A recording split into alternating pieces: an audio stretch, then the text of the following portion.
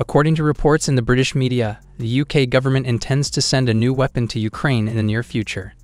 The weapon being referred to is the Stormer HVM, a short range air defense system that is based on the Combat Vehicle Reconnaissance Track Platform, or CVRT. The CVRT is a family of small, highly mobile armored combat vehicles that have been produced since 1970 and are used by the British Army and other militaries worldwide. The CVRT has been used as the basis for 10 different combat vehicles, including reconnaissance, anti tank, amphibious, and command vehicles. The Stormer HVM is a type of air defense system with a limited range, created mainly to defend armored units against the danger of low flying aircraft and attack helicopters. The British Army currently uses this air defense system, and it was introduced into service in 1997 with a total of 151 systems produced. The Stormer HVM gets its name from the high velocity missile it employs, specifically the Starstreak High Velocity Missile, which has already proven effective in Ukraine. While previously the UK only supplied portable Starstreak manpads to the armed forces, the Stormer HVM is a complete system mounted on full track chassis. Let's have a close look at this vehicle. Specifications this defense system uses a modified Alvis Stormer armored personnel carrier as its base. The new turret on this vehicle features Starstreak HVM missiles for air defense and advanced search optics, with a larger camera next to the commander cupola. The launchers and target sensors are located towards the rear of the carrier. The weight of the vehicle is 13.5 tons, with a length of approximately 17 feet, width of 9 feet, and height of 8 feet. In contrast to other vehicles in the CVRT family, the Stormer is too heavy to be transported by a CH-47 Chinook helicopter. However, it is capable of being transported using the C-130 Hercules or larger transport aircraft. The air defense system is operated by a crew of three, consisting of a commander, operator, and driver. Armament The Stormer HVM is equipped with Starstreak surface-to-air missiles, which have unique properties that make them difficult to use for other purposes. The tank has eight of these missiles on the turret and an additional eight spares at the back. Each missile contains three high density darts with impact fuses and explosive warheads, which can hit the target multiple times.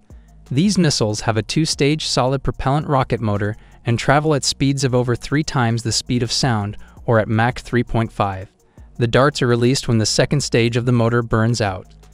The missiles have a service ceiling of 3,280 feet and are guided towards the target using a semi automatic line of sight laser beam riding guidance.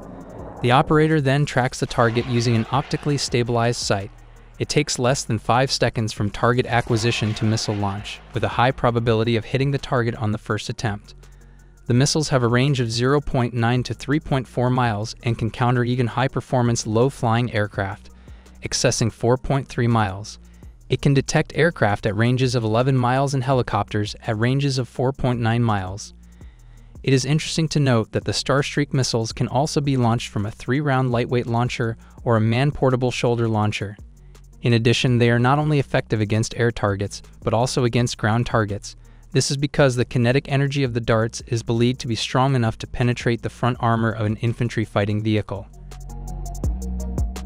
Radars.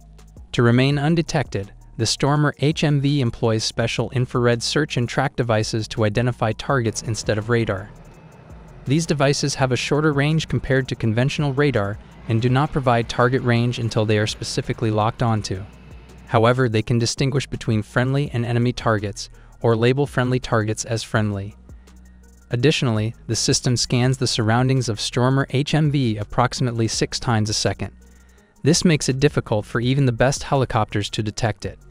Even though the vehicle is visible in arcade mode, the optronic system enables it to eliminate adversaries before they can target it. At night, the system can identify flares fired by enemy helicopters and respond appropriately. While there is a chance of mistakenly targeting other objects, once the system locks onto an enemy aircraft, it will ignore any other targets. The only limitation of this radar is that thick vegetation or smoke can obstruct the infrared search system.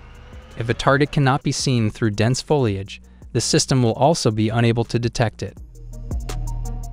Survivability and protection. This vehicle is designed to withstand frontal attacks but can only endure limited damage. The vehicle's armor offers safeguard to the crew from the impact of small arms fire and fragments of artillery shells. Additionally, the vehicle has been equipped with an NBC protection system. However, the missiles are vulnerable to damage from small arms fire, bombs, and artillery, which could cause the entire missile rack to explode and destroy the tank and any nearby allies.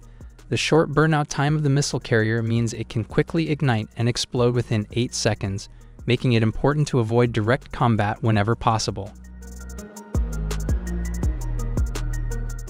Mobility and maneuverability. The vehicle is powered by a 250 horsepower Perkins T6 3544 turbocharged diesel engine, which boasts impressive mobility. It is capable of reaching a maximum speed of up to 49.7 miles per hour with a range of 404 miles. The Stormer is also highly maneuverable.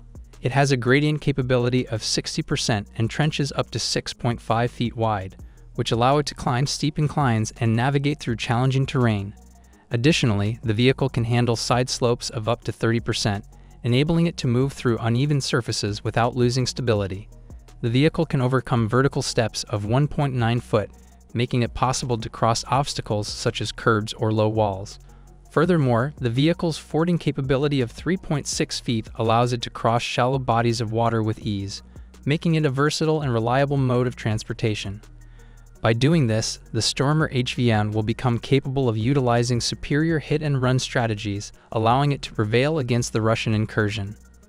According to information provided by UK Ministry of Defence insiders, Stormer vehicles equipped with air defence missiles have been steadily phased out since 2009. The rationale behind this decision is largely attributed to the fact that the risk of airborne assaults on Western military forces has significantly diminished. However, it is worth noting that some Stormer HVMs are undergoing modifications to utilize the new British Martlet multi-purpose light missile, which has capabilities as an air to ground, air to surface, and surface to surface missile. Despite this, as the Martlet only entered service in 2021, it is likely that Ukraine will receive older versions of the Stormer HVM from Starstreak, which cannot be used as light anti tank systems. Nonetheless, having additional mobile air defense, particularly in light of the recent battle in Donbass, would be beneficial. The exact number of Stormer HVMs that will be sent to Ukraine is currently unknown but it is confirmed that they will arrive before the end of April. A source reported that in 2022, there was a shipment of six Stormer HVM air defense systems sent to Ukraine to help protect against the Russian invasion. That's all for today. Thank you for watching.